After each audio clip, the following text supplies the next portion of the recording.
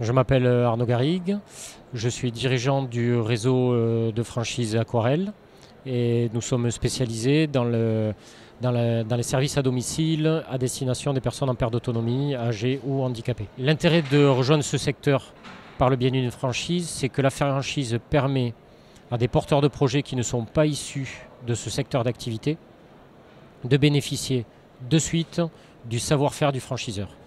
Voilà.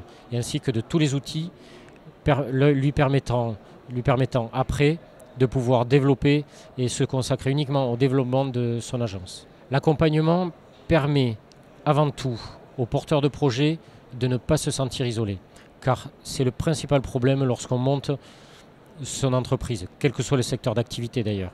On est formé, on est sensibilisé en tout cas à la gestion, au management, on est sensibilisé à la comptabilité, à, tout ce genre de choses, mais on est très peu sensibilisé à l'isolement auquel fait face le chef d'entreprise, c'est-à-dire le choix de la décision et le poids et les conséquences qu'auront telle ou telle décision, quel que soit le domaine, domaine financier, domaine RH, euh, domaine clientèle ou euh, euh, choix stratégique au niveau de la communication ou, ou de l'activité de la structure.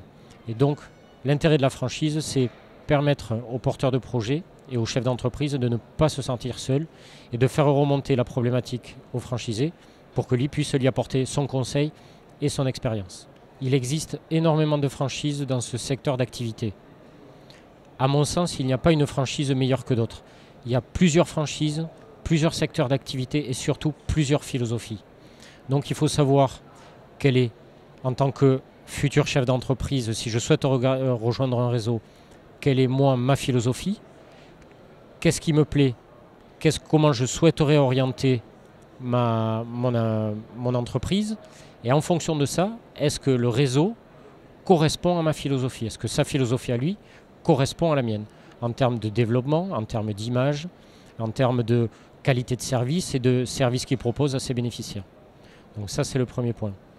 Ensuite, ce qui est important, c'est la santé et le dynamisme du réseau. Est-ce que c'est un réseau dynamique? Est-ce qu'il est en développement? Est-ce qu'il est rentable Puisque la rentabilité aussi est une condition sine qua non? Et ensuite, c'est l'accompagnement du franchisé, puisque comme je l'ai dit tout à l'heure, il permet d'éviter l'isolement du chef d'entreprise et donc du franchisé. Et ça, il n'y a pas pire que d'être non seulement franchisé, mais en plus isolé. Voilà.